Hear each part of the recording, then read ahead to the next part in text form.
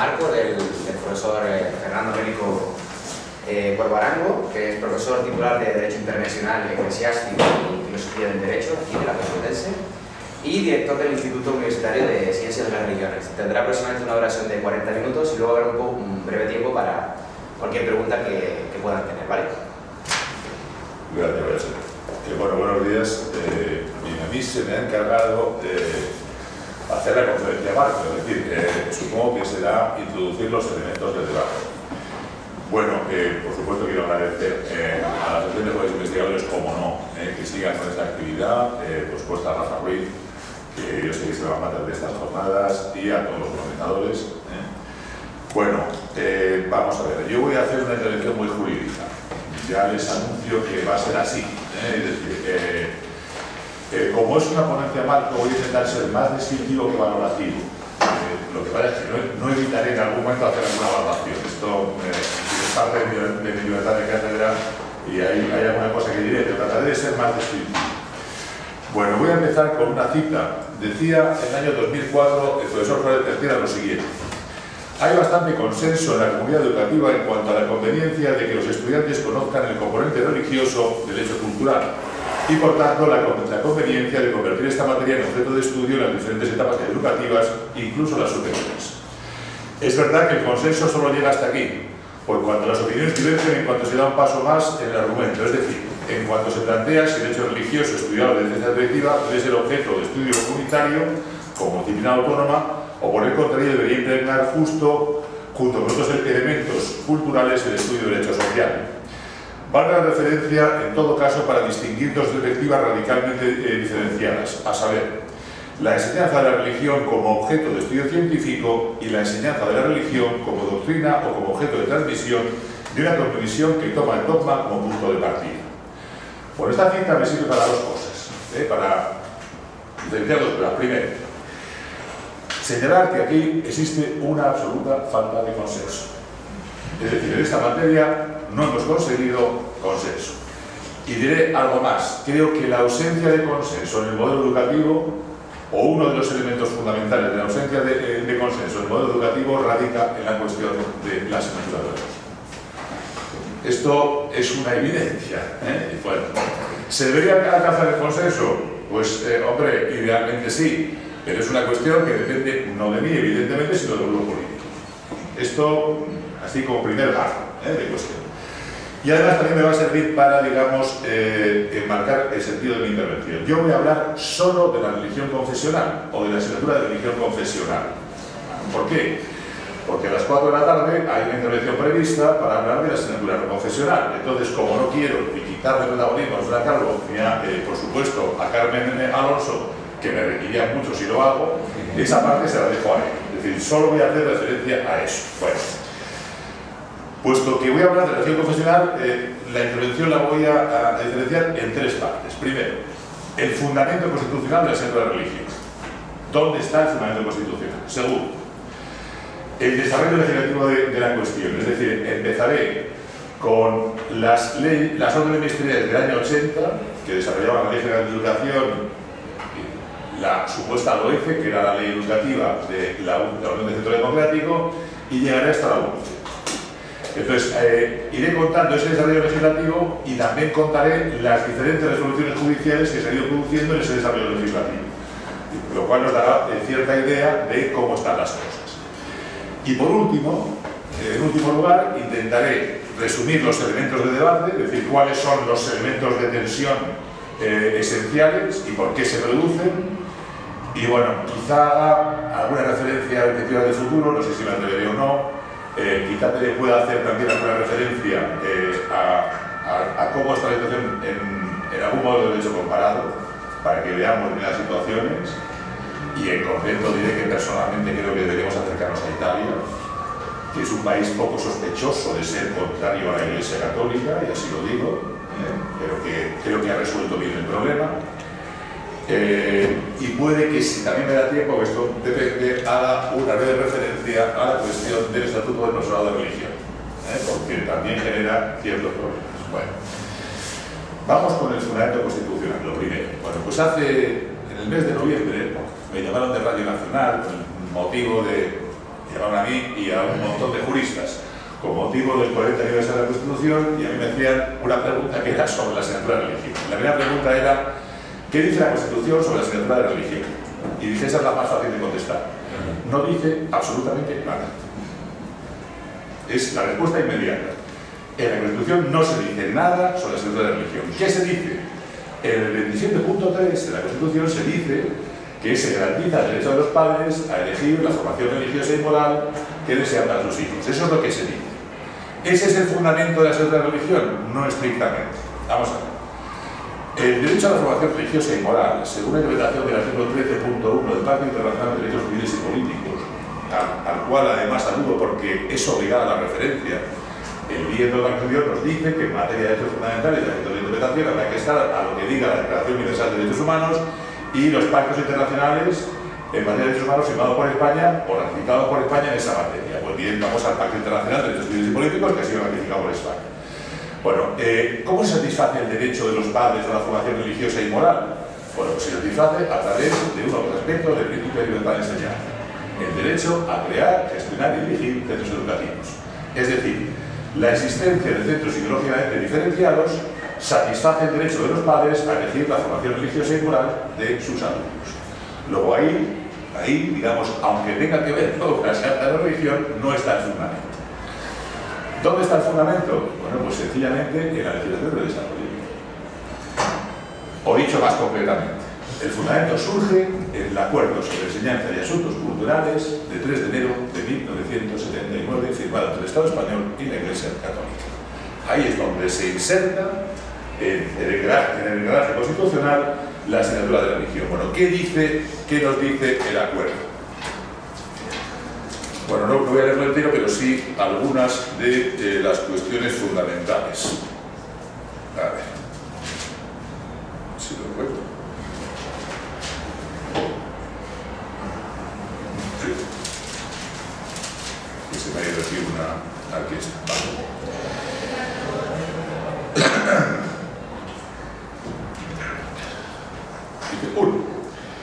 A la luz del principio de libertad religiosa, la acción educativa respetará el derecho fundamental de los padres sobre la educación moral y religiosa de sus hijos en el ámbito escolar.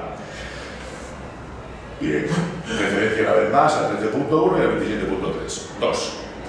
Los planes educativos en los niveles de educación escolar, de educación general básica y bachillerato unificado polivalente y de formación profesional correspondientes a los alumnos de las mismas edades incluirán la enseñanza de religión católica en todos los centros de educación en condiciones equiparables a las demás disciplinas fundamentales. Por respeto a la libertad de conciencia, dicha enseñanza no tendrá carácter obligatorio para los alumnos, se tiene, sin embargo, el derecho a recibirla. Las autoridades académicas adoptarán las medidas oportunas para que el hecho de recibir o no recibir la enseñanza religiosa no suponga discriminación alguna en la actividad escolar. En los niveles de enseñanza mencionados, las autoridades académicas correspondientes permitirán que la jerarquía eclesiástica establezca las condiciones concretas que con ella se convenga otras actividades complementarias de formación y asistencia religiosa. 3. En los niveles educativos a los que se refiere el artículo anterior, la enseñanza religiosa será impartida por las personas que para, cada año escolar sean designadas por la autoridad eclesiástica entre aquellas que el ordinario diocesano, es decir, el obispo, comunicará, eh, proponga para ejercer esta enseñanza. Con la antelación suficiente, el ordinario diocesano comunicará los nombres de los profesores y personas que sean consideradas eh, competentes para dicha enseñanza. En los centros públicos la designación, perdón, eh, sí, el centro público de designación, que fue antes señalada, recaerá con preferencia en los profesores de GB que así lo soliciten. Nadie está obligado a impartir esta enseñanza. Los profesores de religión formarán parte del claustro de profesores de los respectivos centros. Y seis, a la jerarquía eclesiástica corresponde señalar los contenidos de la enseñanza y formación religiosa católica, así como proponer los libros de texto y material didáctico relativos a dicha formación. Bueno, este es el modelo. ¿Cuál es el modelo? La enseñanza es de oferta obligatoria para todos los centros educativos, pero voluntaria para los alumnos. Y luego se dice esto de condiciones equiparables. Ahí está la madre del cordero. ¿eh? Pero bueno, es decir, la, enseñanza de religión tendrá que, ofertarse en condiciones equiparables a las demás disciplinas fundamentales. Luego ya iremos viendo qué significa eso. Por lo demás, queda claro que se trata de una enseñanza confesional, puesto que eh, la elaboración de los programas, de los libros de texto y de los contenidos de religión corresponde a la Iglesia Católica. Es decir, aquí hay una misión reconocida en el propio derecho canónico de, digamos, difundir la doctrina católica. Es decir, tiene un carácter doctrinal. Bien. Además del acuerdo sobre enseñanza y asuntos culturales, habría que hacer referencia a que posteriormente también se reconoce esa posibilidad para las confesiones que firmaron acuerdos en el año 1992. Bueno, en cada uno de los acuerdos aparece regulada esa enseñanza en el artículo 10. Luego ya diré que el modelo es diferente. ¿Qué dice el artículo 10? De las tres, digamos, eh, confesiones de evangélicos, eh, judíos y musulmanes. Dice exactamente lo mismo en, cada una de las leyes. A fin de dar efectividad lo dispuesto en el artículo 27.3 de la Constitución, es decir, el derecho de los padres a la formación religiosa y moral, así como la Ley Orgánica 885, del derecho a la educación, y a la Ley Orgánica 190 de la Dirección General del Sistema Educativo, se garantiza a los hombres y a sus padres los órganos escolares de gobierno que el ejercicio del derecho de los niños a recibir enseñanza religiosa evangélica, musulmana o judía, en los centros de entes públicos y privados concertados, siempre que en cuanto a estos últimos, el ejercicio de aquel derecho no entre en conflicto con el carácter propio del centro en los niveles de educación infantil, primaria y secundaria. 2. La enseñanza religiosa evangélica será impartida por profesores designados por las iglesias pertenecientes a cada una de las entidades. 3. Los contenidos de la enseñanza religiosa de cada una de las confesiones, y los libros de texto relativos a la misma, serán señalados por las iglesias respectivas con la conformidad de la Federación de Entidades Religiosas, eh, eh, de cada una de las confesiones. 4. Los centros públicos y los privados concertados a hace referencia a este artículo deberán facilitar los locales adecuados para el ejercicio de aquel derecho en armonía con el desenvolvimiento de las actividades lectivas. Bueno, esto es lo que hay. Además de eso, podríamos citar eh, la Ley Orgánica de Libertad Religiosa, que en el artículo 2.3 eh, reconoce el derecho a difundir las doctrinas de las diferentes confesiones religiosas como parte del contenido esencial del derecho de libertad religiosa. Bien, la Constitución no dice nada. Esto es todo desarrollo constitucional, esencialmente consecuencia de un acuerdo, un acuerdo que tiene carácter internacional con la Iglesia Católica y carácter de derecho interno con las demás confesiones. Bien. ¿Significa eso que sea constitucional? Bueno, pues la respuesta que hay que dar es que sí. Sí. A ver, ya diré por qué sí. Eh, primero, no todo lo que dice la Constitución eh, es solo constitucional. Hay cosas que dice la Constitución y son perfectamente constitucionales. Y cabe esa posibilidad. Bueno, ¿Cuál es el argumento que ha dado la Constitución? Bueno, puesto que hablamos de la cuestión a la que hace referencia, o que hace referencia tanto al desarrollo de libertad de conciencia como a la relación entre Estado y las religiosas, hay que estar a los principios que informan nuestro sistema, digamos, de desarrollo de libertad de conciencia y de relaciones con las cuestiones religiosas. ¿Cuáles son esos principios? Esencialmente los siguientes. Libertad, igualdad, pluralismo, laicidad y cooperación. Estos son los principios básicos que regulan nuestro sistema. Luego, lógicamente, para que esto sea constitucional, tiene que ser coherente con esos principios. Bueno, ¿qué, ha dicho el Tribunal Constitucional? Bueno, pues el Tribunal Constitucional ha dicho, ha dicho lo siguiente. Y cito eh, como sentencia Ahí podría citar algunas más, pero voy a, citar solo esencialmente la última, la última y más relevante, que es la sentencia que se dicta contra el recurso institucional que se interpone contra el 11, que es la 31 barra 2018 de 10 de abril. Dice lo siguiente. Conectando con el contenido del artículo 16, con el ámbito de la enseñanza de religión en los centros docentes, hemos afirmado en nuestra sentencia de 2007 eh, que esa excepción solo puede ser evidente en régimen de seguimiento libre que hace posible tanto el ejercicio del derecho de los padres de los menores a que estos reciban enseñanza religiosa y moral acorde con las condiciones de sus padres, artículo 27.3, como la efectividad del derecho de las iglesias y comunidades a la divulgación y expresión pública de su credo religioso, contenido nuclear de la libertad religiosa en su versión comunitaria colectiva. El deber de cooperación establecido en el artículo 16.3 se encuentra en la excepción de la religión el interior educativo un cauce posible para la realización de la libertad religiosa en concurrencia con el ejercicio del derecho a la educación conforme a las propias convicciones religiosas y morales. Continúa. Desde este marco doctrinal, las normas no, vulneran el marco constitucional, cuando, como afirman los recurrentes, por haber configurado como asignatura la de la religión.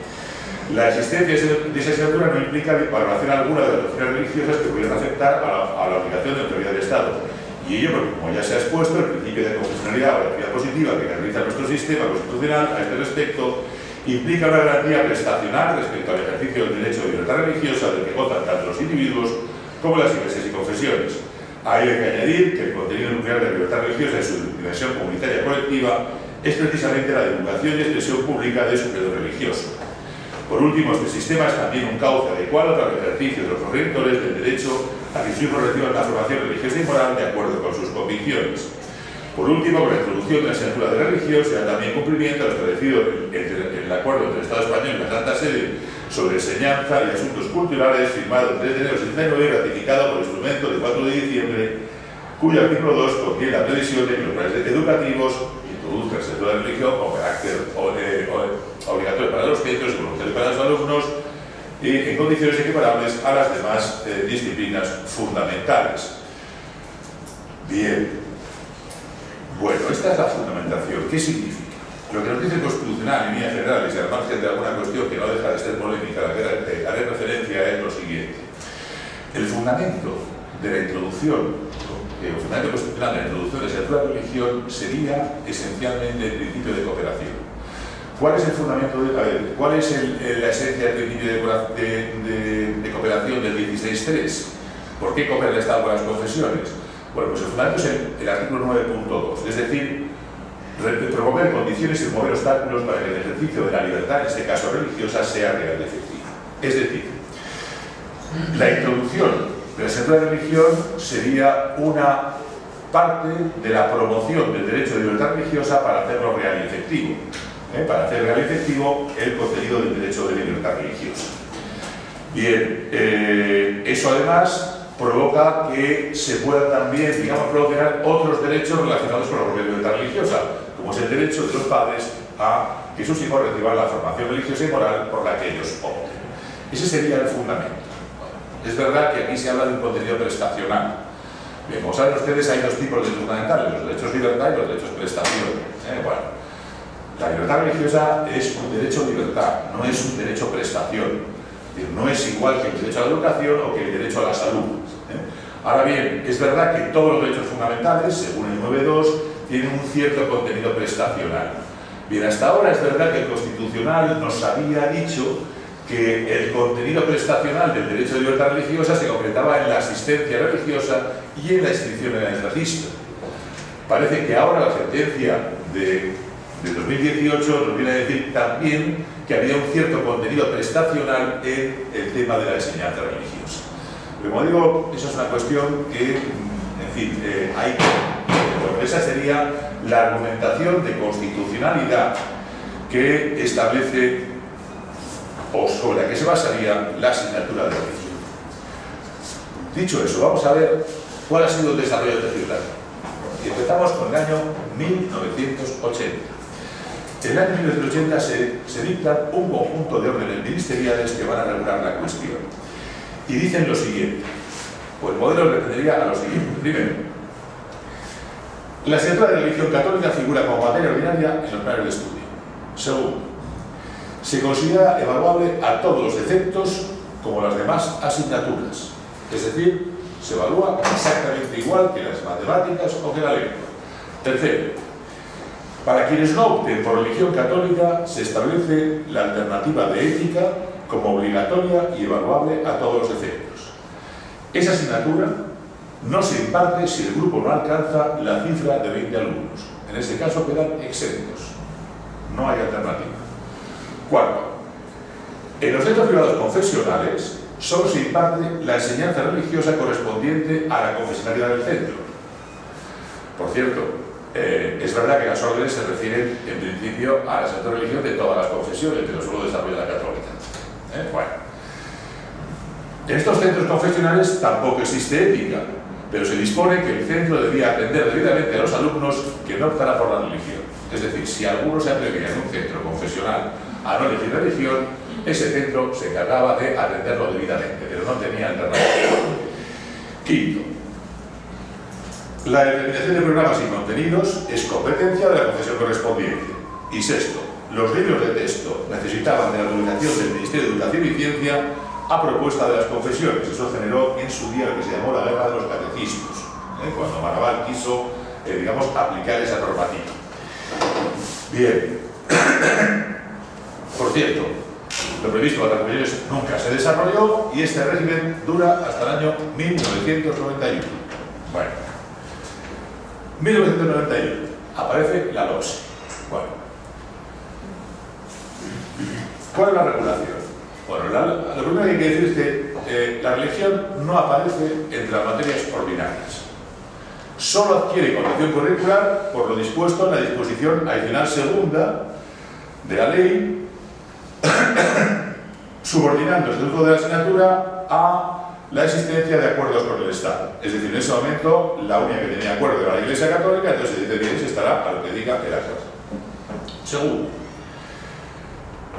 la asignatura de religión es evaluable, pero esa evaluación no tendrá o no se tendrá en cuenta en aquellos procesos académicos que entren en concurrencia o en los que entren en concurrencia los expedientes de otros. Es decir, la evaluación no tiene efectos para becas ni para la, prueba de acceso a la universidad. ¿Eh? Esa sería eh, la referencia. Tercero, en lugar de ética, que desaparece como alternativa, se configura la alternativa de estudio asistido en relación con las enseñanzas mínimas de las áreas correspondientes del curso escolar orientadas por un profesor. Es decir, los que no elijan religión van a estudiar, tienen estudio asistido sobre las materias básicas del currículum, las materias esenciales del currículum. Bueno. Voy a dar los datos eh, a tener en cuenta. Uno, eh, la entrada en la LOCSE supone una caída de más de 20 puntos de los que dicen religión católica. Eh, y dos, si veíamos la nota de corte, es decir, Sabemos que esos años la nota de corte para entrar en la universidad era, era fundamental, porque son los años, digamos, de, de baby boom, donde hay, hay las peticiones, las de corte eh, son muy claras y con décimas. Bueno, ¿cuál es la nota media que sacan los alumnos que van a ética? La nota media en España, 5,2. ¿Cuál es la nota media que sacan los alumnos que eligen religión católica? 7,8. Es decir, más de dos puntos y pico en alguna medida, la caída, la caída de la opción por religión tiene algo que ver con esa regulación. Bueno, ¿qué ocurre? Bueno, pues eh, se dictan una serie de, decretos de salió la LOCSE, ante los cuales se produce una batería de recursos. Batería de recursos que se sustancian en una serie de sentencias del año 1994, que va desde el 3 de febrero hasta el 30 de junio, sentencias del Tribunal Supremo que declaran la ilegalidad de los decretos de desarrollo. Y ello por las siguientes razones. Dos fundamentales y alguna más a la que voy a hacer referencia. Primero, la inseguridad jurídica a que da lugar la insuficiente comprensión del contenido de la actividad de la alternativa. En que es, eso es muy poco concreto ese estudio asistido. y dos, violación del principio de igualdad porque se entiende, se entiende que el estudio asistido sobre contenidos, mínimos discrimina a quienes, eh, digamos, han elegido religión católica. ¿Por qué? Porque quienes elijan estudio asistido están en mejores condiciones para sacar mejores notas en las eh, asignaturas básicas que quienes han, elegido religión. Solo un comentario. Es curioso que sea inconcreta la alternativa y que al tiempo de ser inconcreta sea, digamos, discriminatoria Jurídicamente tendrá algún problema, pero sigo siendo descriptivo. Además de eso, se apuntan otras cuestiones. Una sentencia, la última, entiende que se viola el artículo 16.1 de la Constitución, que dice que nadie pueda ser obligado a declarar sobre su religión, ideología o creencias. Cuando dice que se obliga a los padres a declarar al principio del curso escolar eh, eligiendo entre religión y alternativa.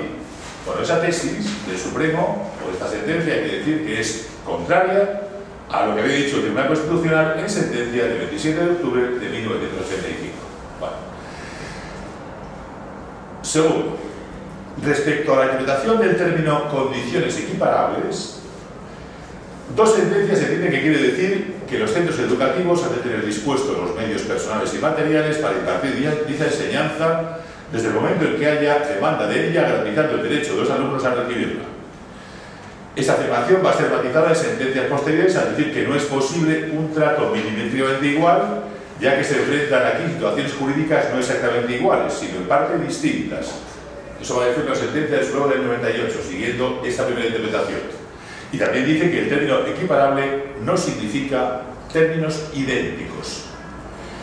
Dos sentencias del Supremo entienden, por otra parte, que en condiciones equiparables significa también que deben ser evaluadas la asignatura de religión en las mismas condiciones que las demás materias fundamentales.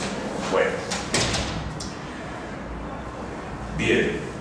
¿Qué hacen las autoridades educativas, Ministerio de Educación y Ciencia, con respecto a estas sentencias? Evidentemente acatarlas y modificar la legislación. Surge así el Real Decreto 2438 barra 1994 de 16 de diciembre.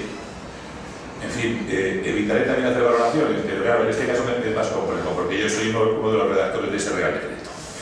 Bien, eh, ¿qué decía el Real Decreto? Se establecía la oferta obligatoria de la enseñanza de la religión en los términos de los pactos con las confesiones religiosas, por tanto, se incluye en la enseñanza de religión evangélica, musulmana y judía, además de la católica. Ya se han firmado los acuerdos del 92 y es la primera vez que se da un tratamiento que intenta ser uniforme de todas las confesiones. Y en condiciones semejantes, equiparables, entre comillas, a las demás disciplinas fundamentales. Dos, la enseñanza de religión se evalúa, pero las calificaciones no se tendrán en cuenta en bachillerato, eh, bachillerato y a los efectos de becas y de prueba de acceso a la universidad. ¿Para qué? Para garantizar la plena igualdad entre los alumnos. Tercero, como alternativa y siguiendo la doctrina del Tribunal Supremo,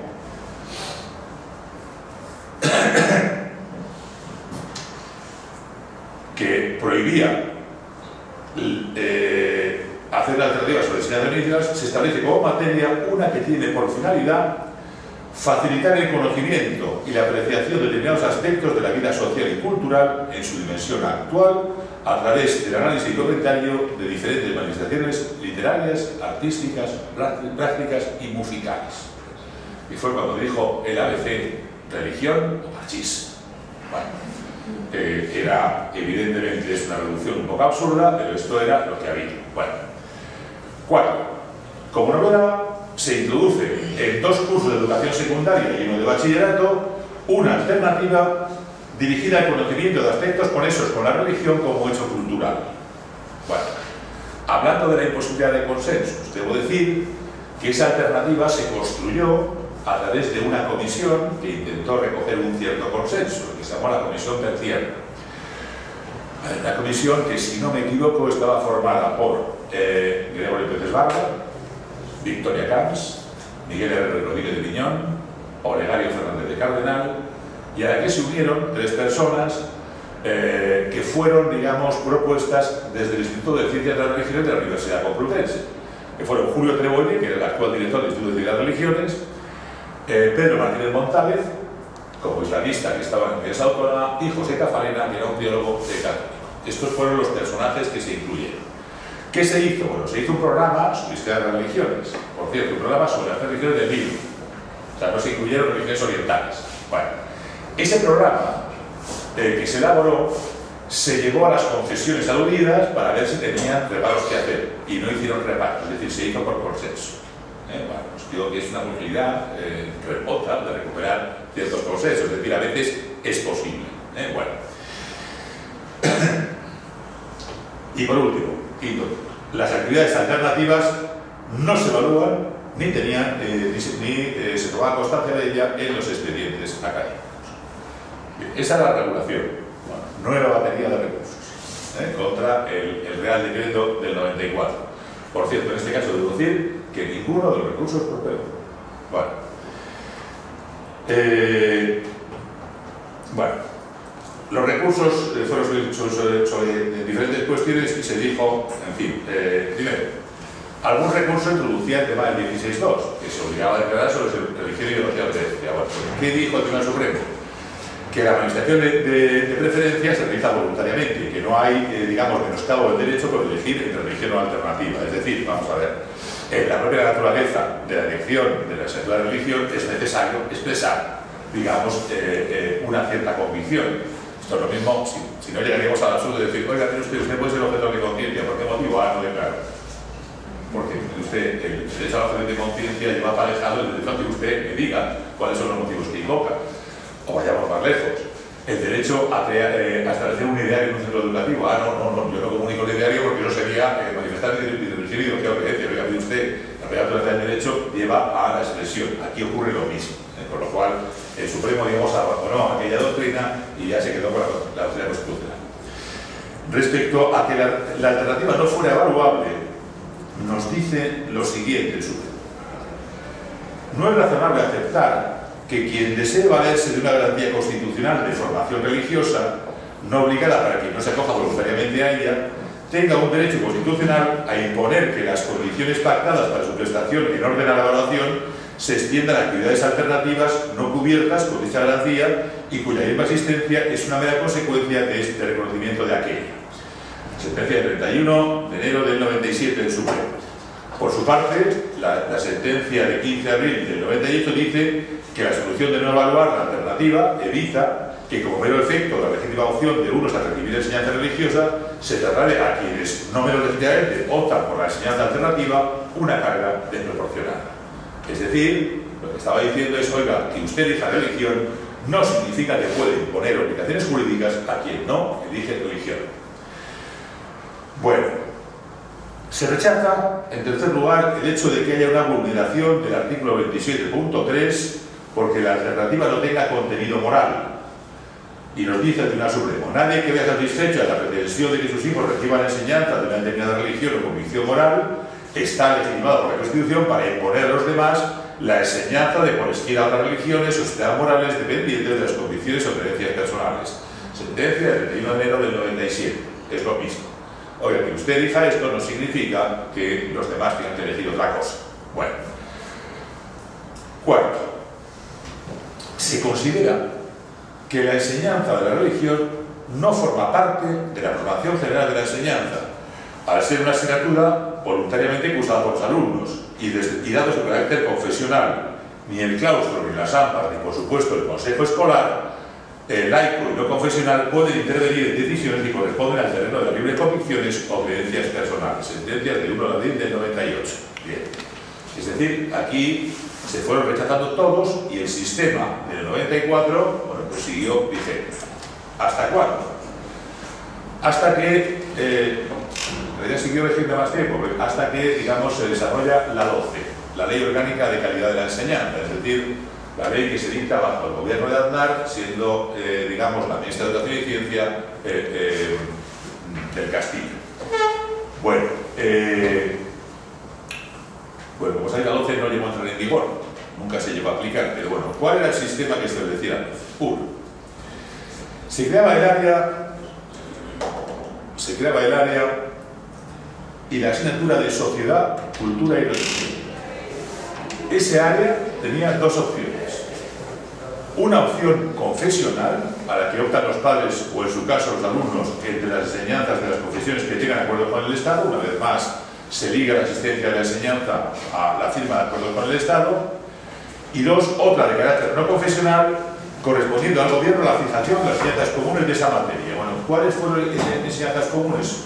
Les cito algunas la oración, los lugares de culto, las festividades religiosas, la estructura eh, básica de toda religión, la razón y la fe, etc. Estos eran los contenidos de la no confesión. Bueno. Ambas opciones son de oferta obligatoria para los centros, debiendo elegir los padres, eh, o los alumnos en su caso, cuando eran mayores de edad, eh, una de ellas, excepto en educación infantil, donde solo existía asignatura de religión, confesional. Cuarto. No, perdón, tercero.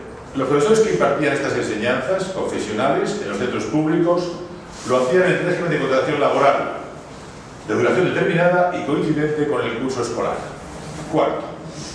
Se evalúan ambas asignaturas de forma ordinaria, pero en bachillerato la evaluación no es aplicable cuando se produce concurrencia entre los clientes académicos, es decir, no tenía efectos de cara a la prueba de acceso a la universidad. Bueno, a mi juicio, el principal problema de esta regulación, que como saben no, entró en vigor, es que establecía un régimen uniforme de la adquisición de conocimientos, de enseñanza o área no confesional y de la adquisición de convicciones, que era el área confesional. Es decir, se equiparaba se decía que era lo mismo adquirir convicciones que adquirir conocimientos, lo cual creo que generaba algunos problemas. Bueno, vamos a ver. Siguiente regulación, la LOE, la Ley Orgánica de Educación del año 2006. Bueno, aparece inicialmente la cuestión en la disposición adicional segunda, ya es un clásico, con lo cual ya no es materia ordinaria, es decir, se incluye currículos escolares solo porque, digamos, eh, la inscripción adicional segunda de la entrada como consecuencia de los acuerdos firmados entre Estado y las diferentes confesiones. Bueno, los decretos de desarrollo fijan lo siguiente. En infantil, posibilidad de elegir o no enseñanza de la religión. Como saben, en infantil eh, se, se establece la religión entre los 3 y los 6 años. Bueno, en este caso, digamos, no se dice nada de alternativa. ¿Cuál es la alternativa? Jugar. Punto. Y tampoco se dice nada de evaluación, es decir, no se evalúa. Bueno, en primaria. Pues bien, eh, el decreto que establece la Secretaría de Educación Primaria, la primera establece lo siguiente. Bueno, primero, pueden elegir enseñanza confesional los padres al inicio del curso académico. Alternativa. Dice debida atención. ¿Qué es esto de debida atención? Bueno, los centros docentes dispondrán de las organizativas necesarias para proporcionar la debida atención educativa en el caso de que, de no se haya optado por cursar enseñanzas de religión, garantizando en todo caso que la elección de una u otra opción no suponga discriminación alguna. Bueno, esas medidas eh, eh, debida atención se fijaba en medidas organizativas incluidas en el proyecto educativo de cada centro, con lo cual la alternativa iba a depender un poco de cada centro. ¿eh? Pero sería esa debida atención. Evaluación. La evaluación se realiza igual que la eh, de religión católica, igual que las demás asignaturas. Sin embargo, evaluación de las demás confesiones, no hay evaluación. A ver, evangélicos, judíos musulmanes, no les importa que esto no se evalúe. Punto. Secundaria. Lo mismo. Real Decreto de Desarrollo de la Secundaria, 2006, disposición eh, adicional segunda, una vez más, posibilidad de elegir o no con los padres o tutores. Religión católica. Evaluación, bueno, igual que el resto de las asignaturas. Religión evangélica y islámica judía. No hay evaluación. Alternativas. Enseñanza de historia y cultura de las religiones es una alternativa o bien debida atención, es decir, medidas organizativas colocadas en el proyecto educativo. Bien, bachillerato. Lo mismo, enseñanzas mínimas, elección, padres o madres, o los alumnos cuando son mayores de edad, como es evidente. Materias. Católica. Evaluable, pero sin efectos públicos. No se evalúa respecto al acceso a la universidad. Evangélica, judía y musulmana, como siempre, no es evaluable. Alternativa, no se dice nada, en consecuencia, no existe alternativa a la clase de religión. Esa fue la de la LOE. Vale. Vamos a acabar. Llegamos a 2013, la 11. Bueno. Una vez más, las asignaturas en la edición segunda, pero el sistema aquí cambia ligeramente. Bueno, educación infantil. Como la ley, la, 11 en realidad es una modificación de la LOE, que no, la, modifica completamente, con lo cual en educación infantil, como no se dice nada, habrá que estar a lo que decía el LOE. Es decir, hay eh, opción de religión en el segundo ciclo de educación infantil, de 3 a 6 años, y no hay alternativa. ¿eh? Y no se evalúa. Vale. En primaria y secundaria, la asignatura de religión aparece como materia específica. Y en realidad aquí se fija dos opciones. Religión confesional, a elección de los padres, y la alternativa va a ser valores sociales y cívicos en primaria valores sociales y éticos en secundaria. Se evalúa a todos los efectos, si bien, si bien ninguna de esas dos asignaturas, ni religión ni valores, son evaluables al final de cada etapa ni en las supuestas evaluaciones externas, es decir, en las presuntas reválidas ni en las evaluaciones externas que se hagan sobre el sistema educativo o de los centros. Vale. Bachillerato. Se configura también como una asignatura específica a elegir y que tiene como alternativa valores sociales y cívicos. Y aquí es evaluable a todos los efectos. Una vez más, en este caso, se vuelve a evaluar con efectos en la prueba de acceso a la universidad. Bueno. El régimen de la 11 eh, fue llevado al Tribunal Constitucional mediante un recurso de inconstitucionalidad y que, entre otros motivos, voy a referir solo a este, eh, se llevaba por establecer la equiparación material entre la asignatura de religión y la de valores sociales y cívicos y por entender que existía una discriminación para los alumnos que cogen religión ya que no pueden elegir la enseñanza de valores éticos y ciudadanos del artículo 27 de la Constitución. Pues bien, la sentencia de, de 2018 va a rechazar esa argumentación. A ver, ¿cuál es la cuestión aquí? El 27.2 establece un contenido obligado para la educación. La educación debe responder, con el fin de, digamos, provocar el pleno desarrollo de la personalidad humana, debe responder a determinados valores, valores de corte democrático, eh, que generen transporte. Entonces, eh, Aquí que se decía, oiga, mire usted, el 27.2 es obligatorio para todos. La regulación de la 11 lo que está haciendo es que usted está excluyendo del 27.2 a aquellos alumnos que eligen religión católica. Bueno, pues ¿qué dice la sentencia? Dice, uno, la existencia de una relación de alternatividad entre religión y otra asignatura no vulnera el derecho a la igualdad ni implica discriminación alguna. Bueno, además de eso, nos dice en uno de sus, fundamentos jurídicos lo siguiente. Vamos a ver. Aquí está. Desde este marco doctrinal, las normas constitucionales no vulneran el marco constitucional como afirman los recurrentes por haber configurado como asignatura la enseñanza de la religión. La existencia de asignatura no implica valoración alguna de las doctrinas religiosas que pudieran afectar a la obligación de neutralidad del Estado pues, eh, eh, eh, bueno, viene a decir, viene a decir, que no es quizá esto lo que estaba diciendo, pero bueno,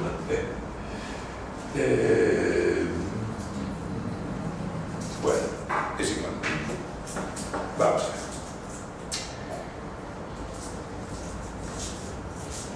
¿Por qué no hay discriminación? Bueno, pues aquí lo que dice es que la 11 transmite los valores del 27.2 de forma transversal, puesto que así se dice en el marco de la propia ley. Es decir, el contenido del 27.2 estaría presente en la 11, pero de manera transversal. Y además de eso, porque la solución que establece que la de religión y valores sociales y cívicos, en primaria o éticos en secundaria, no es necesariamente excluyente, puesto que se prevé la posibilidad en función de la regulación y la aprobación de la oferta educativa que establezca la Comisión Educativa y en su caso de la oferta de los centros docentes, que el alumnado pueda cursar simultáneamente ambas opciones. Bueno, esto es lo que dice la sentencia de que, o que considera que no es inconstitucional la aparición, digamos, de esa asignatura. Bueno, eh, vamos a ver. Aquí hay que decir, hay que decir que aparecen una serie de votos particulares a esta sentencia, es decir, de, eh, digamos, posiciones discrepantes de diferentes magistrados. En realidad, bueno, se producen cuatro votos particulares, alguno de ellos es un voto particular que firman dos magistrados. Dicho de otra forma, de los 12 magistrados, cinco se oponen, se oponen a los contenidos dictados en la sentencia.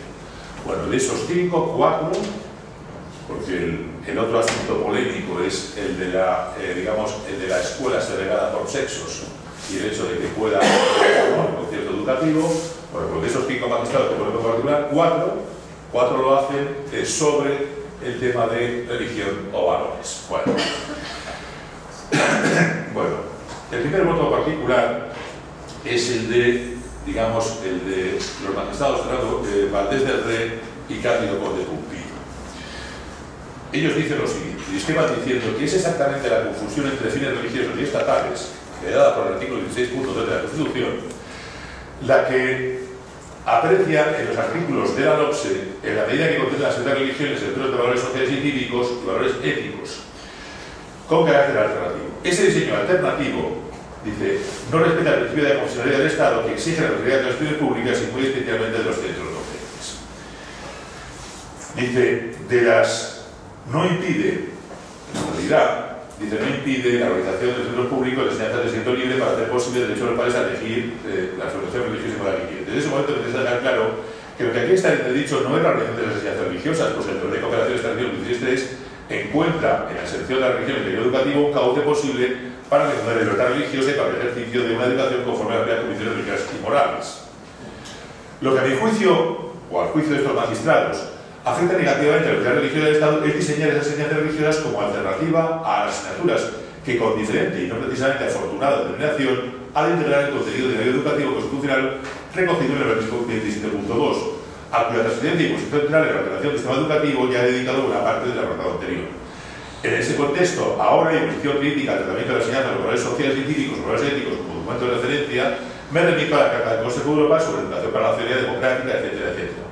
Le llevan razón los recurrentes cuando señalan que en este ámbito formativo, tan estrechamente conectado con el ideario educativo recogido en el 27.2, la perspectiva confesional no puede sustituir a la perspectiva constitucional, convirtiéndose en las asignaturas alternativas en modalidades didácticas de una disciplina, pues esa alteridad diluye la naturaleza de los valores constitucionales al tiempo que vulnera el deber de neutralidad religiosa que ese artículo 16 forzosamente ha de presidir la actividad del Estado y con esta reforma educativa adquiere un tinte neoconfesional. Bueno, por su parte, eh, Siol Rius, en su vota particular, hace referencia a las siguientes cuestiones. Bueno, primero nos dice, nos dice que no se puede olvidar que la 11 ha provocado la desaparición de la asignatura de educación para la ciudadanía, en contra de las disposiciones que ha ido dictando tanto el Consejo de Europa como la propia Unión Europea. Bueno, luego viene de decir Sion que la modificación que se de los artículos para que en algún caso, si el centro docente puede, en función del proyecto educativo, se dé la posibilidad de alternativa, digamos, eh, o de que el alumno pueda elegir en primaria y secundaria tanto religión como valores, no es más que un mero artificio. Bien, eso no aparecía en la redacción inicial de la ley. ¿Cuándo se introduce? Se introduce cuando hay un informe contrario del Consejo de Estado advirtiendo sobre la alteridad. Pero esa, esa posibilidad es más teórica que real. En consecuencia, una vez más, entiende que se produce una vulneración del principio de neutralidad y de confesionalidad y que, consecuentemente, esa opción entre valores del 27.2 y opción religiosa no es constitucional. Por último, el último de los votos, el de María Luisa Balaguer, insiste en la misma cuestión y nos viene a decir finalmente lo siguiente. Bueno,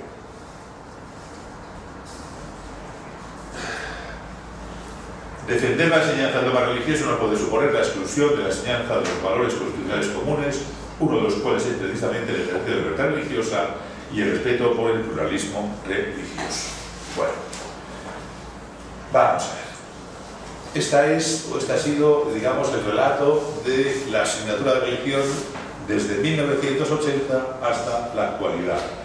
Eh, por cierto, creo que el gobierno, pero ya me pierdo si lo ha hecho o no lo ha hecho, tenía intención digamos, de modificar eh, a través de un decreto eh, la evaluación de, digamos, de la asignatura de religión para que tuviera efectos de selectividad. Pero ya en un momento ya no sé si lo ha hecho o no lo ha hecho. En fin, esto es mal jurista, debería estar atento, pero no lo he visto. Creo que lo ha hecho, ¿eh? pero no estoy seguro. Pero bueno. Bueno, dicho eso, vamos a hacer un resumen de las posiciones. Bueno, si atendemos a todo este desarrollo legislativo, podemos decir que dos son los principales focos de tensión o los elementos de tensión. Alternativa y evaluación. Esto es lo que genera tensión. Bueno. Y esos elementos de tensión tienen su naturaleza o su origen en la interpretación del acuerdo sobre enseñanza y asuntos culturales firmado por la Iglesia Católica y con la presencia de la asignatura de religión en la escuela pública. Es decir, eso es consecuencia, de son consecuencia de lo que aparece en el acuerdo sobre enseñanza y asuntos culturales. Dicho de otra forma, esos focos de tensión no aparecen en la regulación prevista para evangélicos, judíos y musulmanes. Pues bien, la derecha tiene querencia hacia fórmulas de integración orgánica del profesorado de religión, en tanto que la izquierda tiende hacia fórmulas de libertad de acceso. La derecha acepta de la interpretación del acuerdo como inserción de la enseñanza religiosa en el sistema educativo público. La izquierda se inclina hacia interpretar el acuerdo como inserción de esa enseñanza en la escuela pública, que no es lo mismo. Una cosa es la religión en la escuela, otra cosa es la religión dentro del sistema educativo. La derecha dentro del sistema educativo, la izquierda la religión en la escuela. Las formas de la derecha conducen a las siguientes tres consecuencias. Primero, acercamiento del estatuto académico de la estructura de religión confesional a las demás asignaturas con un sistema de evaluación idéntico y con la existencia de una asignatura alternativa igualmente evaluable y obligatoria para quien no curse religión. Es decir, interpreta en condiciones equiparables a en condiciones idénticas a las demás disciplinas fundamentales. Segundo, acercamiento del estatuto de, de profesor de religión católica al de los demás profesores de, digamos, las materias ordinarias de la regulación del Estado. Y tercera, puesta en manos de la Iglesia tanto el control de la asignatura y de su impartición como el de los profesores en su acceso y desempeño a la función. La fórmula de la izquierda intenta recortar el valor de la evolución académica, el grado de control de la Iglesia sobre los profesores y la exigencia de seguir una enseñanza alternativa. Bueno, eso es consecuencia de una ambigüedad que está eh, reflejada en el acuerdo. La famosa fórmula de condiciones equiparables a las demás disciplinas fundamentales. Y eso permite dos interpretaciones. La inclusión de las religiones el educativo o simplemente la presencia de la religión en la escuela. El Tribunal no ha dicho nunca nada sobre esto. Se ha escapado siempre que ha podido. Lo entiende con una patata caliente y entonces es verdad que la gente dice, bueno, no, como no se le plantea, yo no lo planteo. Como esto no lo afecta, no me lo planteo. No se lo ha llegado a plantear. Eh, perspectiva, no se lo van a plantear. Han tenido otra oportunidad en 2017 con la 12 y aquí no se dice nada como se habla de la presencia o de la excepción de no se dice que se en el sistema educativo o que sea en la escuela. Es decir, esto lo deja a ese año. Bueno. Eso, como digo, no ocurre con la regulación del artículo 10 de las otras confesiones. Eh, ¿Hay algún punto de consenso entre izquierda y derecha en esta materia? Solo uno, solo uno. Y es la preocupación de ambos, izquierda y derecha, bueno, he, utilizado estos términos muy genéricamente, ¿eh? que nadie que luego me, vea con matices sobre esto, ¿eh? bueno, como, queráis, era, para describirlo. Bueno, el punto de consenso es la preocupación por la protección de los derechos de los trabajadores, profesores de religión, en relación con la igualdad de su acceso al puesto de trabajo. Bueno. Eh, llevo casi ya todo el tiempo consumido. Eh, bueno, voy a dejar en el aire algunas cosas. Uno, la regulación de los profesores de, digamos, de, o el estatuto de los trabajadores profesores de religión. Bueno, como saben, los de religión católica dependen del Estado, que es su empleador. ¿eh? No así los de religión evangélica eh, judía y musulmana. ¿Qué se hace con ellos? Por ellos lo que se hace es, se fija, bueno, se, se controla el número de horas que han impartido sobre, sobre eh, digamos, estas asignaturas y en función de ese número de horas se envía una cantidad digamos, a, cada una de las confesiones para que la repartan. Ese es el sistema. Los católicos, los de religión católica, eh, a ver, tienen relación laboral, en todo caso compleja, porque la relación laboral, como saben, depende de que cada año les den del ordinario del lugar, el ordinario diocesano, lo mismo. Es decir, para que puedan a religión. Bueno, aquí cuál es el problema. El problema que ha ido surgiendo es que, claro, el empleador es el Estado, no es la confesión. Entonces, ¿qué ocurre cuando se produce un despido improcedente? ¿Y por qué puede decir improcedentes? Porque de repente una señora se ha ido a vivir eh, con, eh, eh, con un divorciado y se ha casado civilmente con él.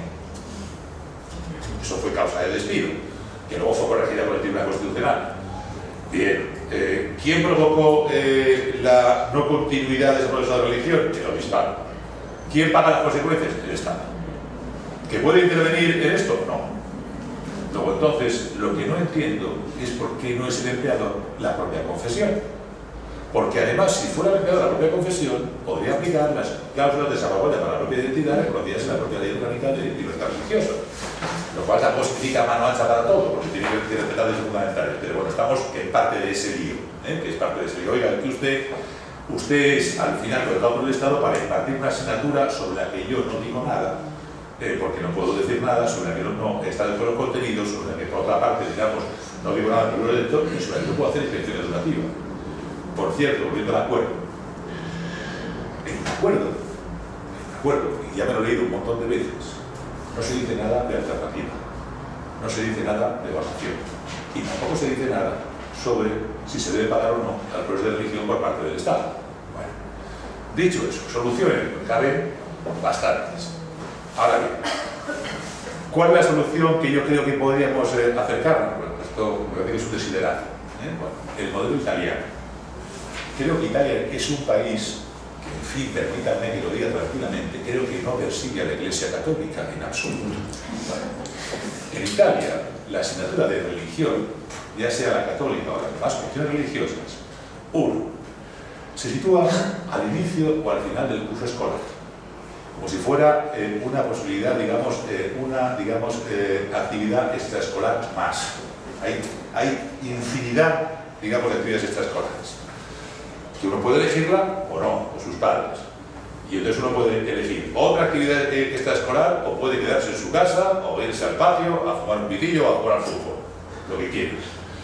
Dos, la evaluación. Cuando a los niños italianos que han elegido religión se les dan las notas, se les dan dos sobres.